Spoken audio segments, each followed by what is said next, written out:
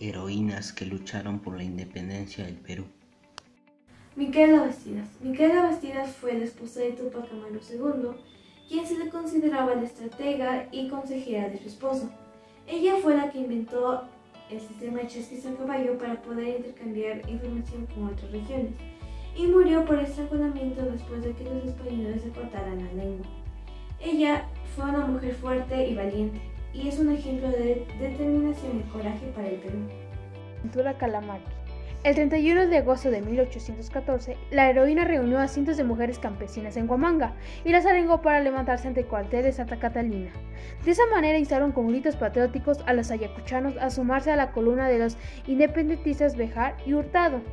Ventura se afrentó al capitán español José Vicente de la Moya con un discurso que ensalzaba los valores de la libertad e igualdad. Rosa Campuzano fue una valiente mujer guayaquileña que llegó a Lima en 1817. Se unió a esta causa suministrando información del ejército realista a los patriotas. En 1823 ayudó a San Martín difundiendo entre los realistas las cartas de este para integrarlos al ejército libertador. Sería reconocida con la Orden del Sol del Perú. María Parado de Bellido fue una gran heroína peruana y acuchana. Ella escribía cartas a su esposo Mariano Bellido, que junto a sus hijos formaban parte de la causa libertadora, sobre los planes y movimientos de su enemigo. A pesar de usar un nombre anónimo, María fue descubierta y apresada. Ella se negó a traicionar su patria gritando yo la escribí. Terminó siendo fusilada, sin lugar a dudas un ejemplo de mujer de Dios Manrique, una dama limeña y una mujer muy valiente, no solo apoyó financieramente a la causa patriota, sino que sirvió como enlace de comunicaciones. Y junto con su esposo José Cayetano Luna convirtieron sus casas de Huacho y Lima en refugios para los patriotas, contribuyendo así a la independencia del Perú. Manuela Sáenz nació en el Perú. Participó activamente en la batalla por la independencia de nuestro Perú Llegó a vestir el uniforme militar y aprendió a usar armas, participando luego en la batalla de Junín y Ayacucho. Su casa fue utilizada por algunas razones conspirativas. Acompañó a Simón Bolívar durante ocho años hasta su muerte y fue nombrada caballerista de la Orden del Sur del Perú por don José de San Martín. Héroes que lucharon por la independencia del Perú. Sebastián Francisco de Miranda Rodríguez y Espinosa nació un 28 de marzo de 1750 en Caracas, Venezuela. Llevó a cabo sus estudios en la Universidad Central de Venezuela. Hizo un proyecto de ley que proponía que un descendiente inca o un inca gobernase el Perú.